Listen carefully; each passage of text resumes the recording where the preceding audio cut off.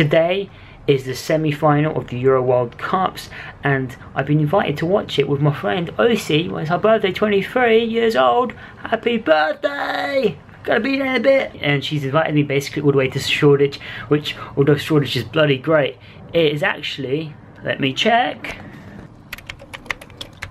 is exactly 11.7 miles. Suburb life is really different from central London living, especially if you're going to an East London event and you live in West London. But she's invited me to a little pub off Shoreditch High Street and you have to go a long way on the London Tube to get there. So uh, I'm going to show you my journey to central London today and uh, hopefully I'm going to get on time to watch the game because it's already past eight and it's just started but I don't know because it would be a real bummer if I got there and missed it because that's like the whole focal point of the evening what I want to show you is I'm bringing a 2 litre Kropla Beskidu Voda Polska with me because this costs like 30p here in the suburbs.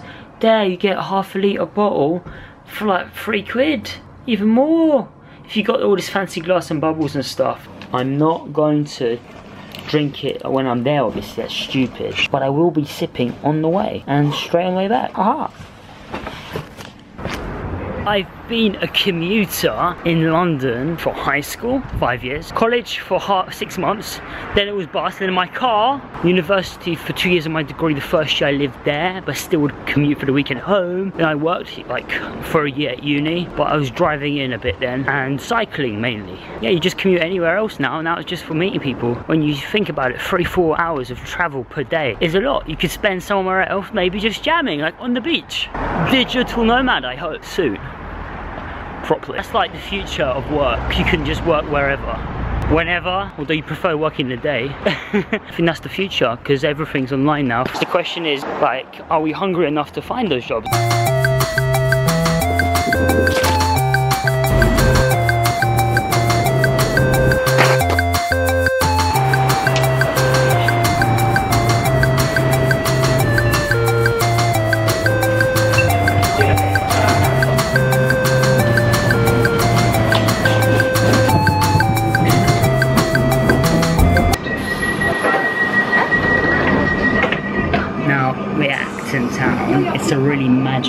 Stop because the district line also stops here and it's where the Piccadilly begins to interlink with the district. From Acton Town, there'll always be the district Piccadilly line chase. To always race in between like Acton Town and Hammersmith and that's literally as exciting as it got going home from school for five years.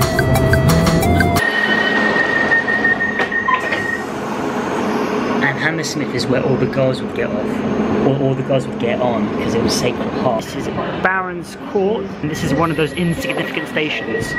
So we've just gone underground, we're approaching Earls Court. That's like the second most exciting thing when commuting into the like Central.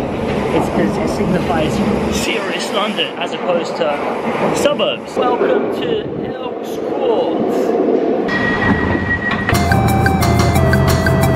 No views apart from like really cool tiling on the like the retro part of the underground.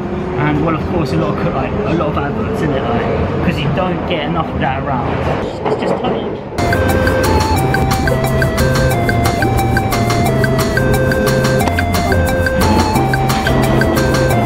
taking a pit stop to get a breath at Knightsbridge guess what Knightsbridge is?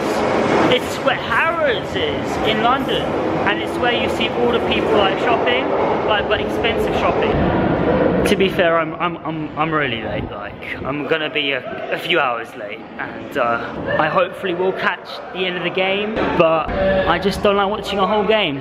Come on, like Wales ain't my team, Portugal ain't my team because they kick Poland out, like and England are out, so 嗯。